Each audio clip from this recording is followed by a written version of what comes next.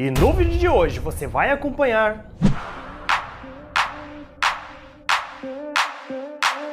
Isso aqui eu faço questão. Não, eu nunca imaginei na minha vida que quando eu não presidente da República. Existem algumas unidades que ganham alma. A gente sente a energia diferente quando está presente. E a rota é uma delas. O primeiro batalhão de choque, esse batalhão centenário, é uma unidade que ganhou espírito. Esse ano, nos sete primeiros meses, nós fizemos 518 mil cirurgias no estado de São Paulo, 181 mil de alta e média complexidade, 40 mil procedimentos oncológicos e queremos chegar no final do ano com mais de 12 mil cirurgias cardíacas realizadas. Estou aqui ó, com o Cássio Cano aqui do meu lado, que é medalhista da Olimpíada Brasileira de Astronomia. Fala pessoal, tudo bem com vocês? Eu sou o Márcio Ribeiro e sejam todos bem-vindos neste canal. Se você não é inscrito, já inscreva-se aqui para você ficar atualizado sobre tudo que o nosso governador Tarcísio de Freitas estará fazendo aqui, ó, pelo nosso estado de São Paulo, beleza? E se você acha que meu trabalho é relevante, seja o nosso patrocinador, faça uma contribuição, pessoal, de qualquer valor aqui, ó, através da nossa chave Pix que está aqui no cantinho, beleza? Bom, e começando a nossa primeira atualização. Algumas semanas atrás, o nosso governador Tarcísio de Freitas foi para a cidade de Biritiba Mirim fazer uma entrega de uma escola creche, né? Uma creche escola. E eu já mostrei aqui no canal. Só que neste dia foi um dia muito especial. Ele conheceu um jovem talentoso, que ele foi campeão né, da Olimpíada Brasileira de Astronomia. E o que ninguém mostrou foi o discurso do nosso governador elogiando e muito esse jovem talento. Estou aqui ó, com o Cássio Cano aqui do meu lado, que é medalhista da Olimpíada Brasileira de Astronomia.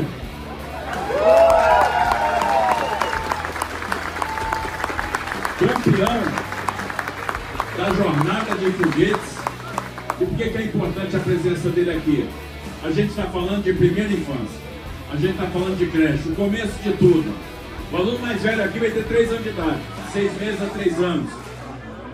Mas o que a gente quer para os nossos jovens é que eles brilhem como o Cássio está brilhando. O Cássio com certeza estava falando para ele, vai ser um exemplo para muitos dos nossos jovens aqui de Biritiba. Muitos dos nossos jovens do Alto Tietê. Vai ter um futuro brilhante, eu não tenho dúvida disso. Por meio do mérito, por meio do estudo, por meio do trabalho. Que o exemplo dele possa inspirar muita gente. E que a gente possa descobrir talentos, que os nossos jovens têm talento. Os nossos jovens têm talento para os games, têm talento para a música, tem talento para informática, tem talento para matemática, tem talento para empreendedorismo. E a gente tem que despertar esses talentos e dar ferramenta para esses jovens poderem brilhar. Então, Deus te abençoe muito, abençoe sua trajetória. Que vem mais medalhas aí. Já sabe o que você vai fazer, Cássio? Engenharia? Engenharia. Não tem como. Vai, vai, ser, vai ser um grande engenheiro, pode ter certeza. Bom, e no dia 16 aconteceu o evento de aniversário da Rota, 53 anos de existência. E é claro que teve um convidado de honra que parou São Paulo, nosso eterno e querido presidente Bolsonaro. Pois é, pessoal. E neste vídeo você vai acompanhar aí o discurso do nosso governador Tarcísio de Freitas e também do nosso secretário de Segurança Pública, Guilherme Derrite. Eu faço questão. Não, eu nunca imaginei na minha vida que quando eu não presidente da República. A Rondas Ostensivas Tobias de Aguiar é um exemplo de segurança eficiente, de excelência e de profissionalismo dentro da nossa Polícia Militar. Celebramos hoje os heróis do passado e os que continuam atuando firme no combate ao crime organizado nesta instituição que formou profissionais que fizeram e fazem a diferença na proteção do cidadão. Com muito orgulho, presto a minha melhor continência a cada policial de rota. Uma vez rota, sempre rota. Existem algumas unidades que ganham alma. A gente sente a energia diferente quando está presente. E a rota é uma delas. O primeiro batalhão de choque, esse batalhão centenário, é uma unidade que ganhou espírito. Esse pátio formou e viu profissionais que foram extremamente importantes para a segurança pública do Estado de São Paulo e por isso são referência. Vocês são o que nós temos de melhor. A nossa mais sincera continência a vocês que fazem a diferença todos os dias. Não existirá no Estado de São Paulo um local onde a Polícia Militar não entra. Não existirá um local no estado de São Paulo onde a polícia não enfrente a criminalidade como ela tem que ser enfrentada. Então, parabéns pelo caminho que os senhores trilharam até hoje. Parabéns pelo patriotismo, pela brasilidade, pela coragem. Acima de tudo, nesse pátio sagrado nós temos homens corajosos. Parabéns, Rota, que veio muitos anos, que São Paulo precisa de vocês. Rota! Ser policial de rota representa ser voluntário duas vezes. Servir na rota é passar por uma nova etapa, por um novo teste, tanto no estágio já mencionado pelo comandante geral, mas é saber que não haverá um dia de serviço de patrulhamento onde não estaremos de frente com o crime, com inescrupulosos que ainda tentam hostilizar a população paulista que vive aqui no estado de São Paulo e população brasileira.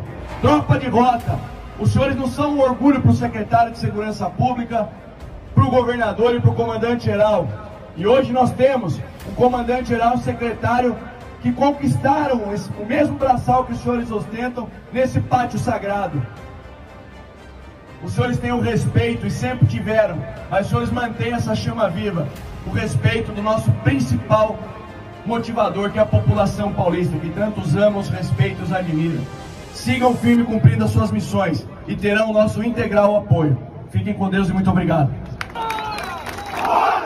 E se você chegou até aqui é sinal de que realmente está gostando do nosso vídeo. Então já peço para você que se não é inscrito, inscreva-se, curta, comenta aí, compartilha. E se você acha que meu trabalho é relevante, seja o nosso patrocinador. Faça uma contribuição ó, através da nossa chave Pix, que está ali no cantinho, beleza? Qualquer valor vai ajudar e muito em nosso trabalho. Fechou?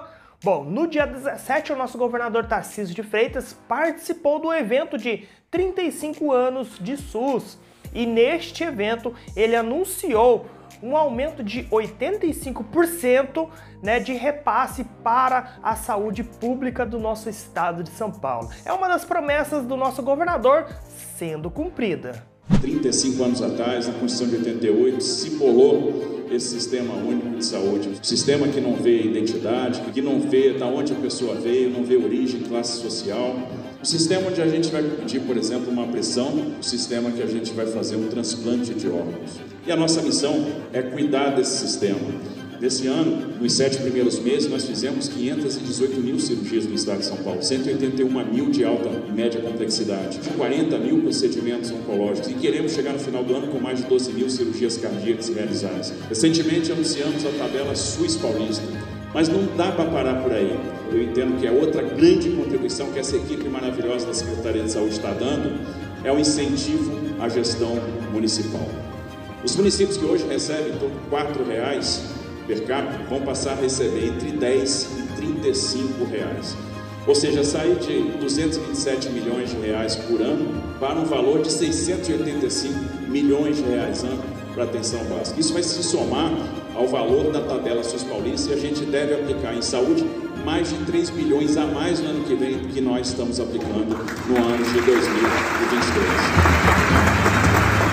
Então é isso, pessoal. Espero que tenham gostado desse vídeo. Se você não é inscrito, inscreva-se, curta, comenta e compartilha, beleza, pessoal? Então é isso por enquanto. Márcio Ribeiro fica por aqui e até o próximo vídeo e que Deus abençoe a nossa nação. Tchau!